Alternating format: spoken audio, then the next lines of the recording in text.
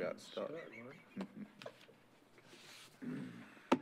Now call this regular meeting of the Jacksonville City Council to order. I want to welcome all of the folks that are here in attendance tonight and also the the folks that will be watching on G10 television. To begin our meeting tonight, we're going to rise for the Pledge of Allegiance, followed by uh, invocation by our City Attorney, John Carter. Please rise. Please join me in the pledge. I pledge allegiance to the flag of the United States of America and to the republic for which it stands, one nation, under God, indivisible, with liberty and justice for all. Our Heavenly Father, we pause. We pause to give you thanks. Thanks for this day. Thanks for the blessings and benefits you bestow upon our city and upon each of us individually. We pray this evening for all those that have been affected by the wildfi- wildfires in Maui and Hurricane Hilary in the western United States coast. We pray for their recovery and for those who've lost lives. As we're now in the midst, in the center of the hurricane season, we continue to pray that through your providence that you would protect this fragile coastal area that we call home. Protect our property and our individuals and keep the storms and the hurricanes away. Protect us, Lord.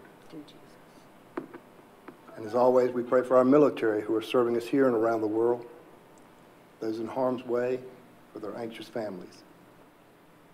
And always, Lord, give guidance and direction to your mayor and to your council. This we ask in your holy name. Amen. Amen.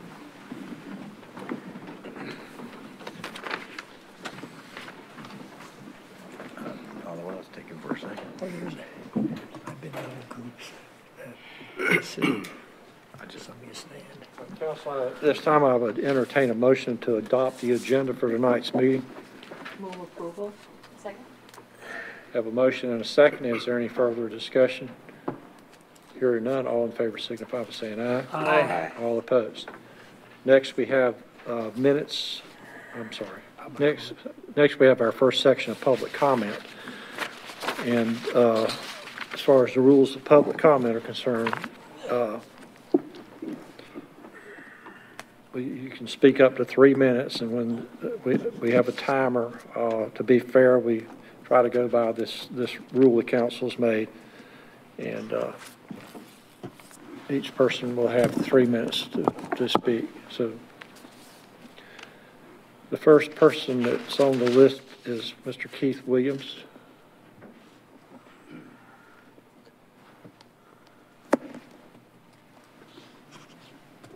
Good evening, uh, Mr. City Manager, Mayor, council members. I want to thank you so much. I know many times you do not hear. Thank you for what you do for our city.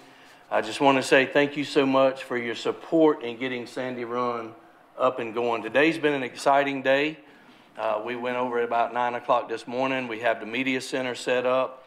Uh, We have everything ready for a grand opening on Saturday uh, and an after-school program that will begin uh, Monday afternoon. So uh, I wanted to come today just to mainly say, once again, on behalf of the Boys and Girls Clubs of Southeastern North Carolina, we couldn't have done it without your support. Uh, I've been looking for this endeavor to uh, come to fruition for probably about three and a half years now, and now we're there. Uh, Sandy Run, it, I've, I've told everybody it's going to be a win-win-win. It's going to be a win for Sandy Run, it's going to be a win for the city of Jacksonville, and it's going to be a win for the Boys and Girls Club of Southeastern North Carolina. Uh, I just have to tell you a story. We were in there setting up today, and this little gentleman, he's a uh, elementary school over at Commons Elementary, and his name is Khalil.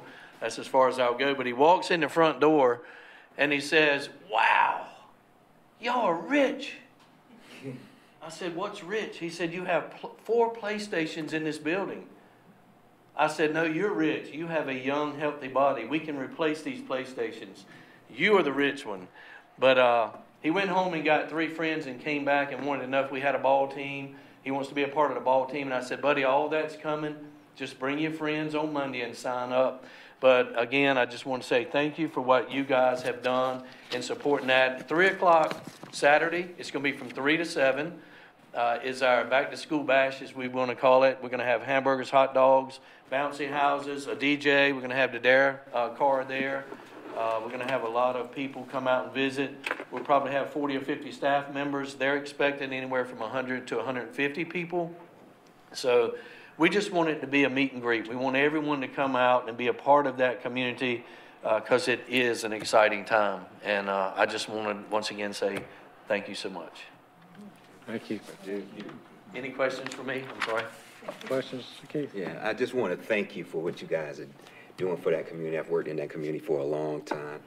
I worked to try to work with Boys and Girls Club to get, get them out and get you guys out there. So I'm so glad that you were able to do all that you're doing for us. So we really appreciate what you've done. Well, Thank you. If you come there and it doesn't do your heart good, something's wrong with your ticker. Thank you. Thank you. Next, I have Ms. Kiva Clark. Ms. Clark? Now? Yes, ma'am. Yes, ma'am.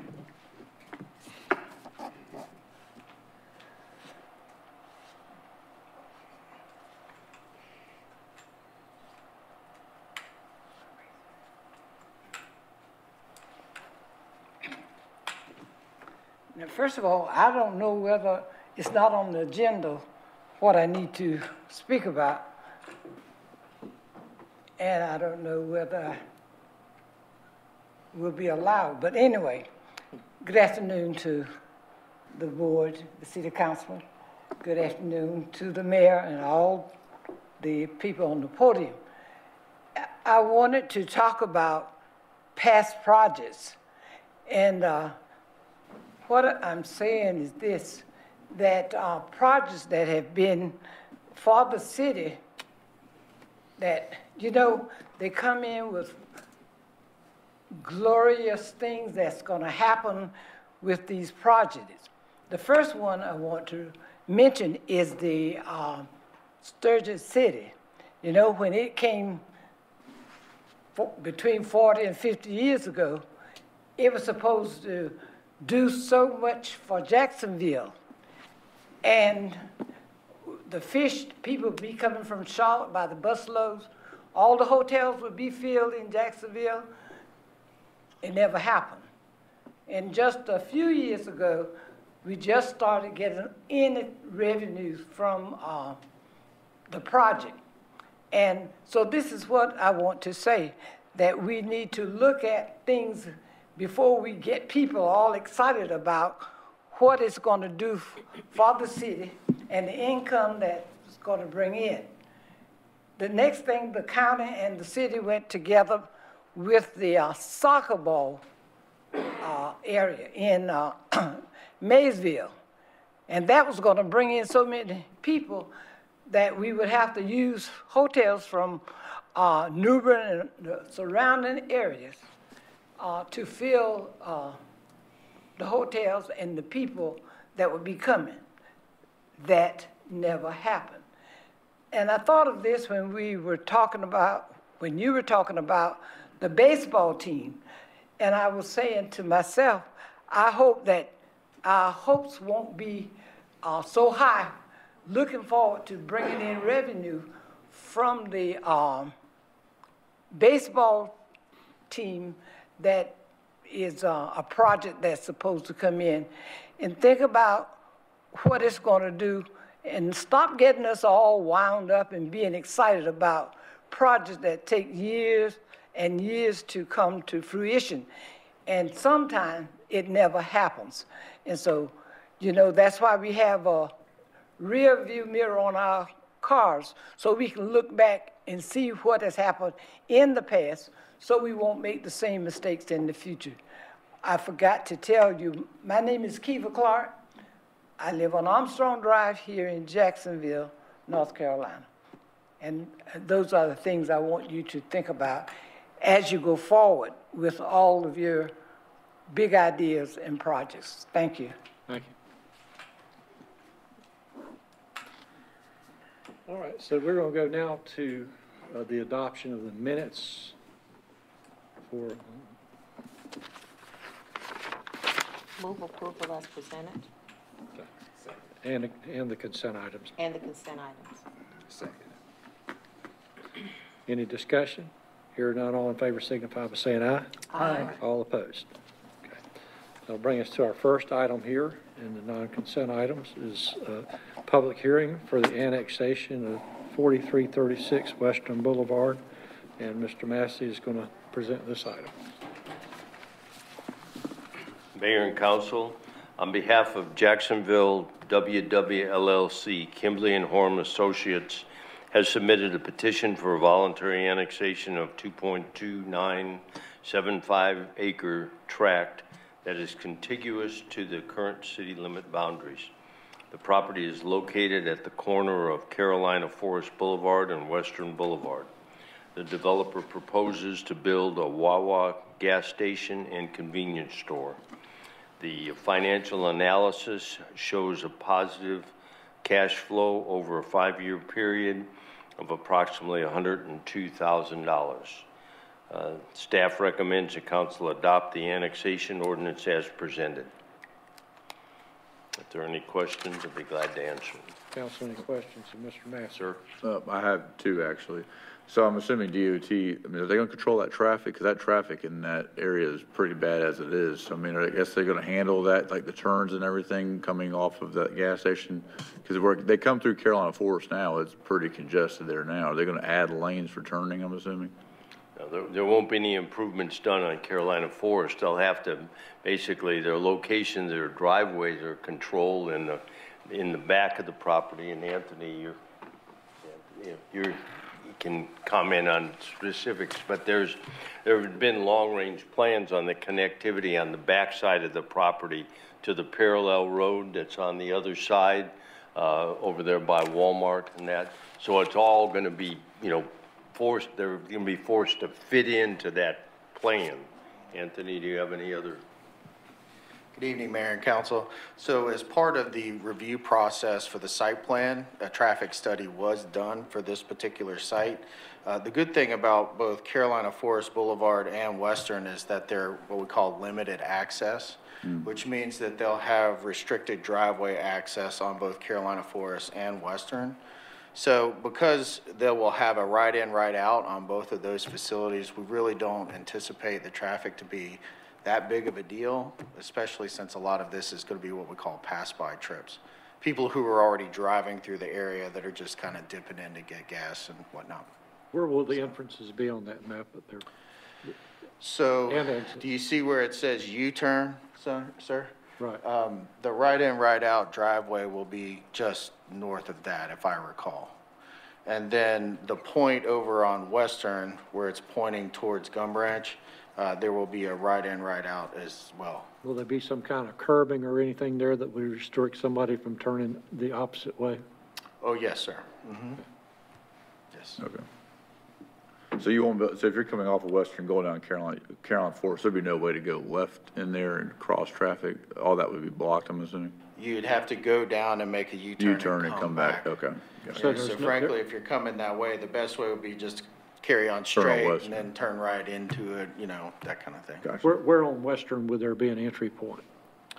Uh, so you see where the, uh, is the annotation on, Lisa? Yes, it is. Somewhere right around in here. Okay. There'll Now- be a, a right in, right out driveway. In the planning of that area over there, some of this is undeveloped, correct? That's correct, yes. Is there going to be some connectivity there between those properties? Yes, sir. So there's actually a larger development concept uh, that's being planned behind here. Whether it happens or not, we're not really sure. But as part of our Collector Street planning, there will be, and it's off the map here, but I'll, I'll show you just for, to demonstrate the concept. There will be a parallel road to Western Boulevard, similar to what's over uh, near, um, not Texas Roadhouse, Longhorn and Zaxby's and Brabham, I think is the name of it. That's right. Okay. So the intent is to alleviate some of the pressure there on, on Western Boulevard by having these backage roads so people can circulate instead of, uh, you know, just having to all be on Western. There's already some medians on, on Carolina Forest, right? Yes, so there, the median will be continuous. Part of the requirement for the TIA, you see it says U-turn right there, uh, that will be closed because there's too many conflicting movements today. Uh, Nonetheless, an additional driveway over here to the Wawa. So that will be closed, and then again, over here, there's already a, the driveway is actually probably a little bit further to the south, and as you're aware, there's already a a median out here. So. Any other questions? Did that satisfy you? Yeah, thank you, appreciate it, yeah. Yes, sir, my pleasure. Thank you, Anthony. That's all I have, Mayor. All right, so there's a public hearing required on this matter. At this time, I'll recess the regular council meeting and open the public hearing. Is there anyone present who wishes to speak to this uh, annexation proposal? All right, I don't see anyone, so this time I'm going to close the public hearing, and we're going to consider uh, the annexation ordinance with staff recommendations. Mr. Mayor, I move that we uh, adopt the annexation ordinance as, as presented. Second. I Have a motion and a second. Is there any further discussion?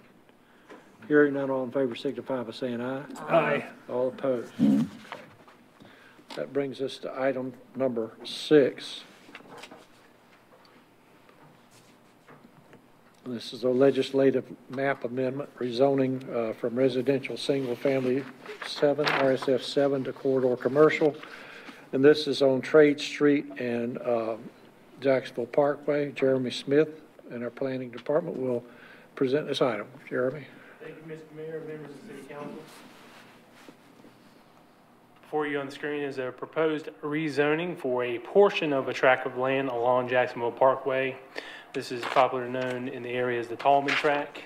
It is actually on both sides of Jacksonville Parkway and also portions of Trade Street.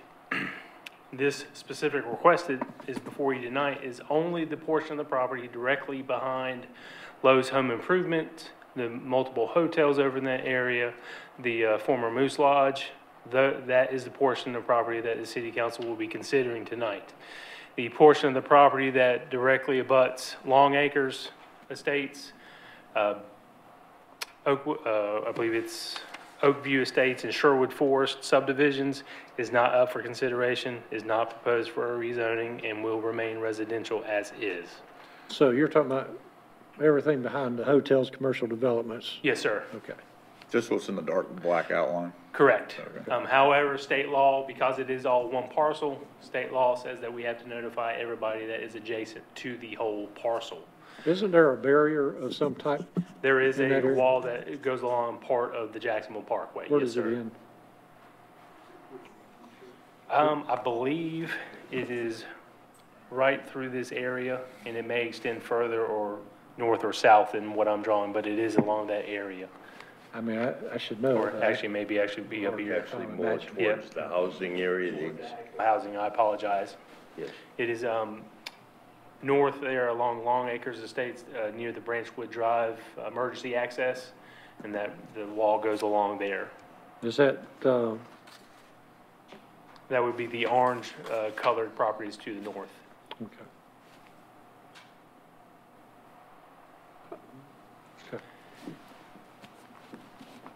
Before you on the screen is a map from the Jacksonville CAMA land use plan, which supports the rezoning of this property from residential single-family to corridor commercial. Uh, More details on the proposed rezoning is that it's approximately 21 acres of a 85-acre parcel of land. If rezoned, this combined with the existing corridor commercial around Trade Street would make approximately 54 acres of the 85 acres zoned corridor commercial. Got a, one more question. Yes, sir? The project site over here that they're wanting the rezoning for, it. how is it going to be accessing Jacksonville Parkway? That's a limited, or almost a zero access Correct. that road? DOT, when they constructed the Jacksonville Parkway, identified specific locations along there that properties would have access. But while you do see a line here, this property is actually, these are one and the same property, so they will also have access onto Trade Street. If they, um, depending on what type of development they have, but DOT does have identified accesses for them or aid and access along the parkway. What about the left side? The left side, there is currently no access for them uh, to Moose Haven. There are some undeveloped tracks that I believe have been inquired upon to maybe partner. How much of that property is in the NC, NC DOT right of way? Um, I don't believe any of the property is in the right of way. So none, none along that whole parkway? None, none of that, the uh, current property It is again split by the uh, parkway. Um, But none of it exist within the right of way. Does it connect up there, to- is it exchange up there at the top? Does it A connect? a or- very small corner, but that would be part of the radius that turns into that driveway. Gotcha, so there couldn't It be would an not be okay. accessible for a driveway there. And while I do not have that, um, the solid information, I believe there is a, um, DOT, DOT identified access along one of these areas, uh, and I've circled. My biggest concern there is the amount of volume, the volume of traffic that's on that roadway. And by adding additional driveway cuts, it's going, you know what that's Yes, sir. relate to. Um, no, Go ahead. Yep, I was gonna say, I believe when the uh, DOT did the parkway, they identified those locations, and anything that hits that threshold of, uh, f- further traffic demand study, traffic impact analysis, um, DOT and the city's Transportation Services Department will look on, um, scrutinize heavily. So you're saying there is going to be access to that property from Trade Street? Uh, Without any specific proposals, they would have access on Trade Okay. Street. Uh, Before you on the screen is what the property will look like if it was rezoned. The Jacksonville Planning Advisory Board reviewed this request at their June 12th meeting, and they, along with staff, are recommending approval of this request, accepting that the evaluation found in the staff report um, finds that findings of fact A through J have been found in the affirmative, and that the rezoning advances the public interest by creating more development opportunities. Um, Staff, along with representatives of the applicant, are ready to answer any questions that the council may have. Council, any questions of of Jeremy? There's some, how, how many houses is on Moose Haven Road? There are, I believe, uh, three non-conforming single-family homes. They are currently zoned corridor commercial, but they have uh, been existing there for quite a number of years. Yeah, I've got for sale signs in their yards. Not all of them do.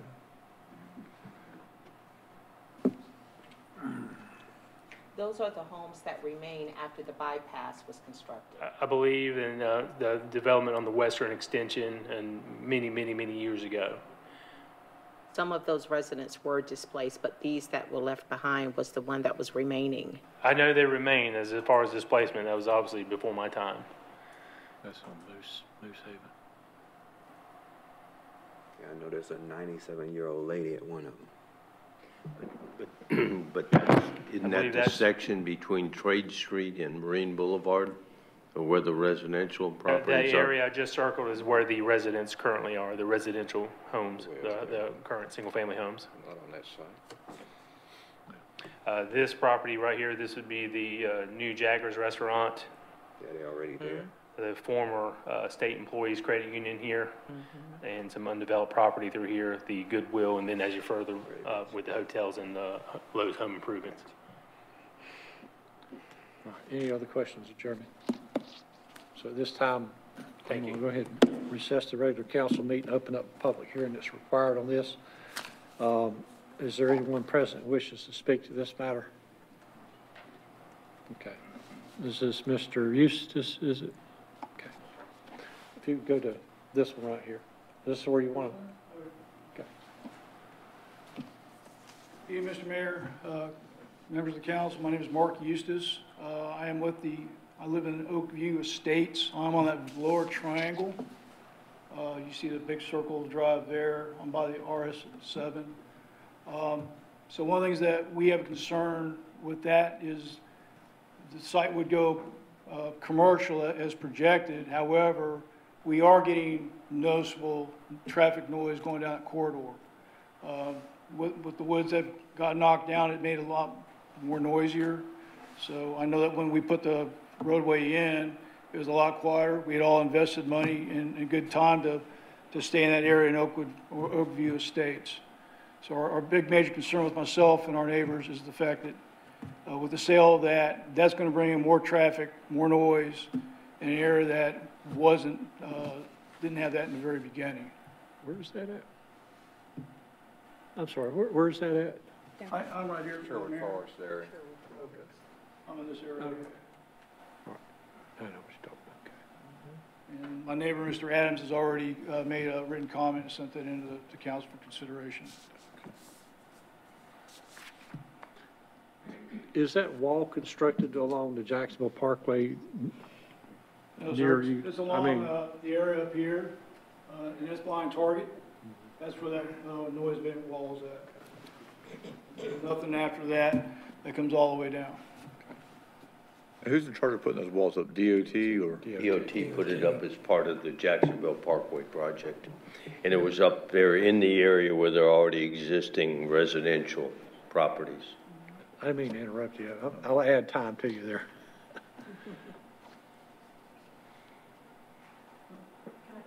Yes, It's my wife Penny. okay.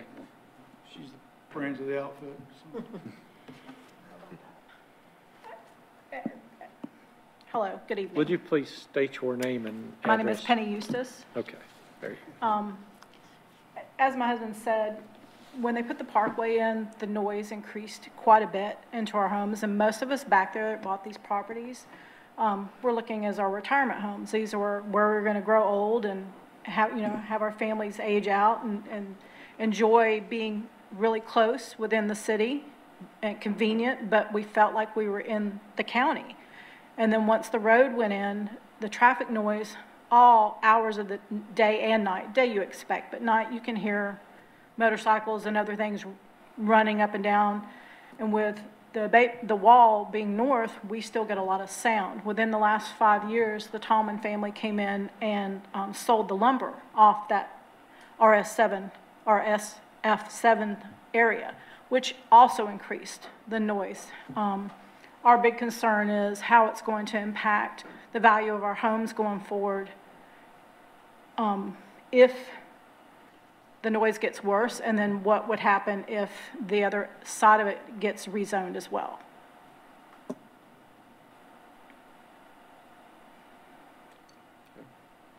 That was my big concern.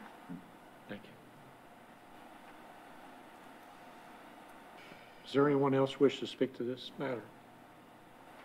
Okay, thank you for. Okay, thank you Hold your on just a minute. Ho- How many houses is that gonna impact in that area In our section, um, there's only one plot that doesn't have a home currently built on it. All, we all have roughly five acres of land, um, within the Oakview Estates. Um, and then directly behind our home, where you see, does it say Wright Street? I'm trying to see what that says. Yeah, that's all new properties that have gone in, and they've almost completely, um, built homes in there now. For a long time, there was only like three, but now there's quite a few. And there is a road you can see, um, I know they were talking about access roads and things, so there is a road that would connect eventually, I'm assuming, to the parkway. I haven't studied the, um, DOT website to see for sure, but it's an open-end road. So that would also bring more traffic up and through those homes, neighborhoods. Mr. Warden, did you have something? Well, just, I'm just thinking out loud, um, you know, the, the, the- the, uh, commercial interests are gonna, they're gonna wanna develop, but we're gonna wanna protect our, uh, citizens. I'm just wondering how we can, can get some sort of a noise barrier between the residential and the parkway. I know, um, you know, when I ran the last couple of years ago, the, uh, one of the, the the individuals down in that section there uh, complained to me about uh, the sirens at all hours of the night. I know they hear it all the time, and uh, I'm sensitive to that. But um, I'm also in favor of, of commercial development, as y'all well know. But uh, I certainly would like to see if we couldn't work out something to where we can get some sort of a wall, some sort of a sound barrier to protect those folks from continued development along that parkway, and it's going to continue. Y'all, y'all can have a seat. Um, I'm gonna go ahead and close the public hearing. and uh, we'll have a little discussion here. Uh, Anthony, what are, are you still here? What are the, uh, what is the possibilities that DOT may show some interest as far as extending the sound barrier? Well, to be, to be honest with you, Mayor, I'm not really sure. Um, Never had to deal with a, a sound wall after the fact. The, the reason that it wasn't constructed initially is because of, in fact, the, the vegetative barrier that was there when the parkway went in. And, and that's generally the, the extent of their scope when they're building sound walls. Uh, only where people currently are, not necessarily where they might be in the future. Uh, the good news is, is that we do have some other DOT projects in this area that may give us an opportunity to look at this from a, from a noise standpoint. Um, if it does warrant a sound wall, they will install it. So, um, I feel like we have two different options. One, I can make contact with them now and see what the recourse might be. Uh, and then two, as we look at these other construction projects in the area, we can certainly continue to, to, uh, try to add that to the scope of work. And also, uh, Mr. City Manager, there, uh, with site plans being developed and all for that piece of property, there are uh, barriers or some type That's what I of, was just uh, gonna bring up. some type of uh, noise break or whatever could Buffers. be put in there. Buffer. I'm just concerned that uh, there- our, com- our traditional um, buffer of 30 feet with vegetation is not, not adequate at all uh, for those folks. And I, I know that, that, that traffic is, uh, that property right behind them is going to develop at some point. Um, You know, it's, it's commercial, it certainly is, it- that's, that's what needs to be done from a public standpoint, but uh, we have to figure out some way of lessening the impact on the, the existing neighbors there. Anthony, I would like to see, uh, city manager, maybe a study where we look at some of the other communities that's been affected by that. I know, like you said, uh, I have a lot, had a lot of retirees in the community I, I, um, live in, and I, I hear everything. I mean, we were used to the sound of freedom, but Just, uh, then everything else opened up. And, and, and Raleigh is a good example. Uh, when you go around the Beltway there, they're, they're actually going back and retrofitting some of the areas with, with Yes. sound barriers, uh, as they con- continue to, to develop and grow too, so. And all of that is connected to enhancement projects that they're doing on their interchanges and their freeways and things like that. So we have the same opportunity here. I think the main challenge is the, the buffer probably is not going to be the end-all be-all. That's why we have the sound wall in the first Yeah, place. Right. Um, but the sound wall probably will not be a short-term solution. You know, it's gonna be something that we're gonna have to work on. Uh, But I can, I can definitely contact DOT and, uh, provide feedback on what the process is. Well, I think I can speak from the most experience on the council that those buffers are needed because where my house is with the bypass right to my house, there is no barrier. So I hear all and I smell all, and that in and of itself is just noise pollution in and of itself. And it just doesn't happen from seven AM until seven PM. It's constant twenty-four seven. Now, earlier you said about entrances, do they already have any to that other, to that backs up to that neighborhood as far as getting in? I'm trying to think what would possibly go in there because of entrance restrictions. Well, the entrances that I'm aware of right now, of course, I believe all of these are city streets. So we have a stub that occurs there, another one that occurs here. And I believe, I can't remember if it's on this side or if it's on this side. There is one access point from Jacksonville Parkway to It that is. parcel. We- we're- It is. It, it is a right in, right out. You want me to And tell you, so, it comes out um, near the, um, It would the be just back like end all the other driveways that are out there. On Gum Branch. Well, You you know, we're not gonna, we're not gonna want commercial traffic accessing through the neighborhoods, as you know. I don't think you can. You It's know, a that's, special that's, sign that that's you not can't. even a, a starter point, you know, so, um, it's gonna have to come off the parkway. And one other factor that that we haven't even mentioned is that Jacksonville Parkway is going to be an extended roadway at some point. That's only gonna increase the traffic. Well, Fortunately or unfortunately, sir, that's, that's why we No, I know, built that's you good, know, good and- news, bad news, I understand, but, So, uh, you there is know, bad news. alleviate some congestion on Marine Boulevard, put it somewhere else. But, uh, you know, again, I think our big opportunity here are the other improvement projects that are coming. Some of them are funded really soon, like within the next two to three years. Now, again, that's not a short-term solution, but it is an opportunity where DOT has money and will be, we will be forced to look at that here. If we can get a- some sort of sound study, whatever is appropriate when they do that analysis, uh, you're absolutely 100% spot on. Tagging it with those existing projects is the best way to get it to happen any anytime in the next decade. You know, it's just, that's the closest, lowest hanging fruit we have to get something put in there. And, you know, the hotels and the commercial, you know, the businesses and that are over there are not themselves a terrible noise producer. The, the largest offender, if you will, is the traffic on the parkway. That's the biggest sound problem. And increasing that traffic, whether it's rerouting or adding another stop on the path, is the challenge. So the more we can do to buffer the noise from the parkway, the better it all is, because adding another building over there with a parking lot really isn't going to up the noise level. It's the traffic on the parkway to get there and back that affects that. So the more we can do around the parkway, the better it is for everyone separating the commercial from the residential. Well, and, and I don't know if this is a good point to make or not, but I'll say it. The, uh, the sentiment with DOT has changed on sound walls. Uh, it used to be that they'll put up the cheapest, you know, generally the most ugly option that they have.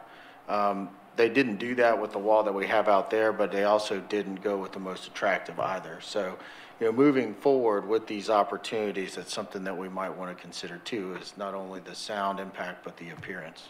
Aesthetic. Mm-hmm. Thank you. Any other input here? Thank you. Thank you, Anthony.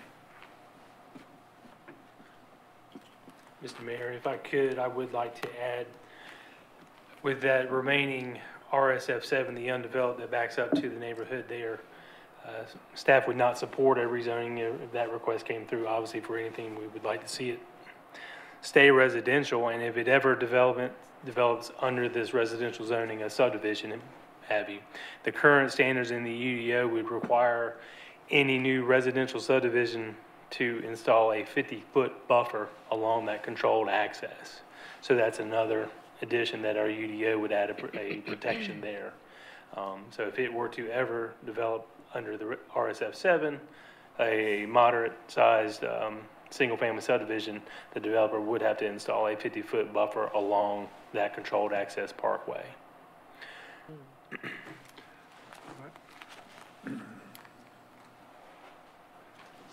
Okay. We Did close the public hearing, didn't we? Okay. Just want to make sure I didn't leave the door open there. We're being asked to uh, consider the pro- proposed request to uh, entertain a motion one way or the other. I'm gonna make a suggestion that I'm not sure if the sentiment is here to approve this proposed rezoning. And rather than close the public hearing, I wonder if we may consider postponing it for two weeks, a month, giving staff a chance to make contact with DOT to see what their plans are for possibly put, erecting a buffer. Mr. Carter? Yes, sir, you you closed it, but you can open it back up, Mayor, and leave it open if that's the council's direction. I'm not, I would ask Anthony, uh, I- do you think you could get some informative information for council to consider in the next month in reference to this, since this is not developed at all, the RSF seven property? Would they even be entertain, my question would be, a, a barrier here until that uh, is put in place? Because that development could be a barrier in and of itself. Sure, Uh, What are, you- what are your thoughts? Well, I would say within the next two weeks or so, we can commit to getting the process from DOT as to how they would consider installing, uh, whether they would and how they would consider uh, installing the sound wall. Um, This is not something that we're going to get a commitment for, you know, within the next 30 days. It's just probably not going to happen. But we can certainly come back to you in two weeks or, or a month if you choose to, to give you more information on what it would be, what would be required to evaluate it and to have it approved. If they would. Let's postpone it for a month. Since it's a public hearing, Mayor, it should be to the problem with that at all. 19th. Somebody for a want to make month, that, if you that's made the I'll make the motion. mo- mo- motion to continue the public hearing till the uh, second meeting in uh, September. Second. Any discussion, any further discussion on that? All right. With that, all those in favor signify by saying aye. Aye. All opposed? Okay. So.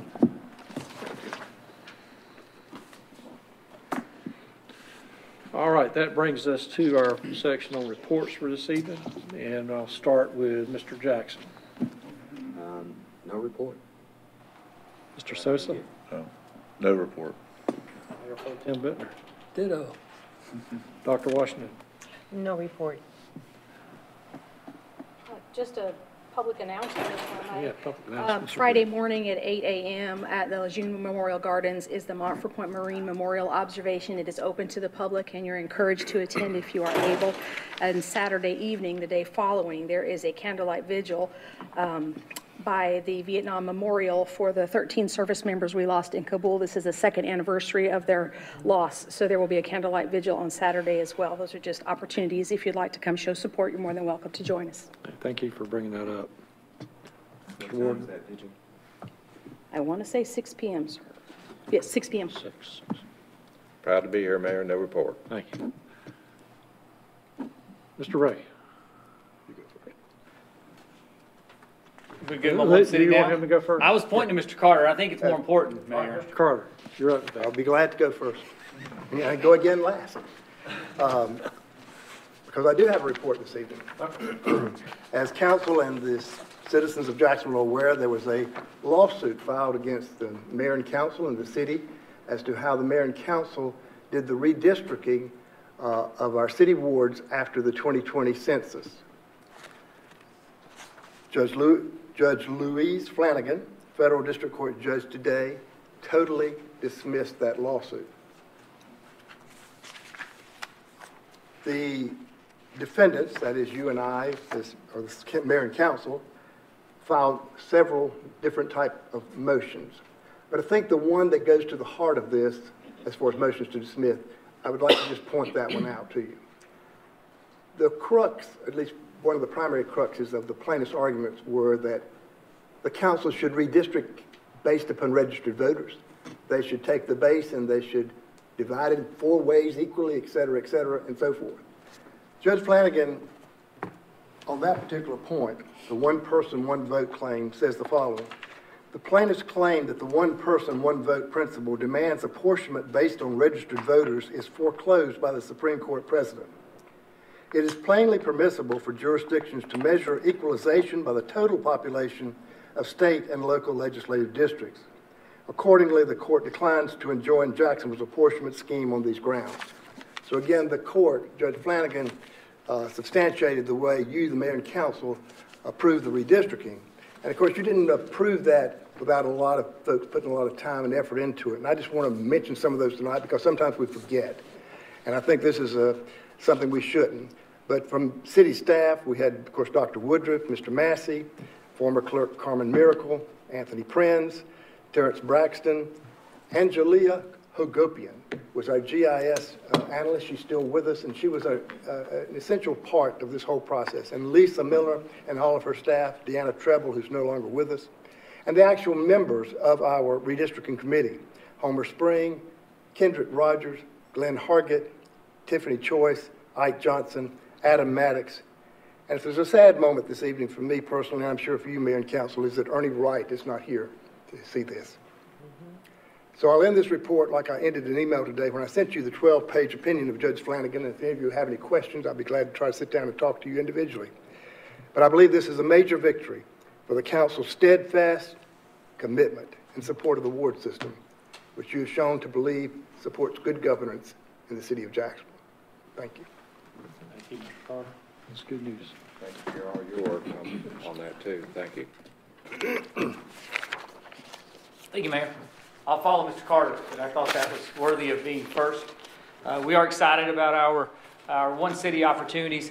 You know, a lot of our challenges um, for the city staff is to be active throughout the community to see all the things that are going on. That's part of our mission as one city, we talk about not just what we do as a city, but what's going on within the community. Uh, you'll see that with a couple opportunities here. Uh, we gave you a little uh, heads up from, from our people. Firefighter Harris, uh, we, we labeled that as a, as a photo op. What that really is is an outreach effort. When you have kids that come around and they want to see what we do, uh, this is what we do each and every day. We, we not only fight fire, respond to calls, and save lives, but we also interact with our citizens. And that's an awesome opportunity to, to share the efforts of our citizens, of our taxpayers, and of our team in showing young citizens what we do every day and, and why we do it. So awesome, great uh, chance to see. You'll see Josh in the reflection of the truck there, which shows you how clean the truck is. Uh, he's getting a picture there because you hate to miss these moments. This is uh, this is our team at their finest, and it's an awesome an awesome time for us, especially for these kids because now they have to go back to school, so they won't have as many opportunities. Um, this this next item here is Narcan training for our hoteliers. If you recall, Chief Yaniero mentioned this before. This was an outreach effort as part of the opioid settlement uh, council decided to put money into supplying Narcan to hoteliers to try and alleviate loss of life due to opioid overdoses. That's a big deal, you know, and this is not something that, that the council takes lightly, that the team here takes lightly.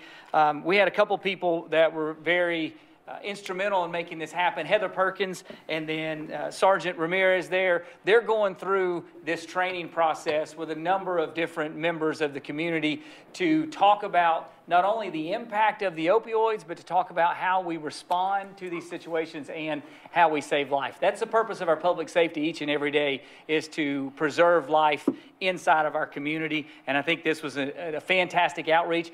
Uh, I look forward to seeing more efforts in the years to come based on this funding source that we're receiving. We did have the opportunity to go to the Public Safety Awards uh, this past week. They're hosted by the Chamber of Commerce. This is an annual award ceremony. Uh, you'll see here there were four individuals that were recognized. The Law Enforcement Professional of the Year, uh, that's Deputy Brandon Moore. He's with the Sheriff's Department. Anne Marie uh, Raymond, she's the incoming president of the Chamber of Commerce, so you'll see her uh, around, but um, Deputy Moore received that recognition. Here you see one of our very own. You see Emily White. She's a telecommunicator too with our team. Uh, she received the Telecommunicator of the Year. Uh, very excited to be a part of that. Uh, one of the fun things about her is that she's done a lot of training this year. And as you know, telecommunication is not an easy uh, job to do within our city. So Ms. White's been there to help our team bring on new members. And that's why I believe she was given this award this year because she earned it helping bring along more te telecommunicators. Uh, right here, this is Charity Jordan. Uh, we're going to claim her as our own because she is the daughter of Michael B. Jordan, who is our deputy fire marshal. So therefore, we get to take this one as two awards for our team. Uh, Miss Jordan is with the May, uh, Maysville Fire, and she won the Emergency Medical Services Professional of the Year. Of the year. Very exciting. Uh, Mr. Jordan showed up in his matching shirt to, to give her that support. And then the uh, firefighter of the year goes to uh, Andrew Provost Jr., also of the Maysville uh, Fire Department. Uh, very exciting to be there and to see the recognition for public safety men and women throughout the community. Last thing I want to add is we did complete our public input sessions uh, here at City Hall, at Jackie Amyette, and at the Commons. Uh, these are excellent uh, interactive meetings that provide communication opportunities for our citizens. For this topic, we're talking about recreation activities and we're talking about the 400 acre project. Those two things coexisted in an environment where we're bringing people into this atmosphere to give us their comments for directions. As we've said to everybody, our 400 acre project that we're working through with council and the community is not designed at this point. We wanted to bring this here because this is citizen interaction at its finest. You see JoJo here uh, asking some questions or maybe getting told what needs to happen there. but we're really excited because a lot of people think that, that council and staff have a design for what these projects are going to be, what our recreation is going to look like over the next 30, 40 years. We don't have that design in place. We have the opportunity now to listen to our citizens who are going to help us figure out the path moving forward. Very exciting. You're going to see more public input sessions. Um, council, members of council are working on other public input sessions. So I just tell you, as the opportunity arises, we're going to be ready and available to listen to 72,000 plus citizens. So if you want to send them our way, send them our way. That's it, Mayor. Thank you so much. Thank you. Okay. With that, I would entertain a motion to adjourn. So moved. Second, Mr. Ty. All right. All those in favor signify by saying aye. Aye. All opposed? Okay.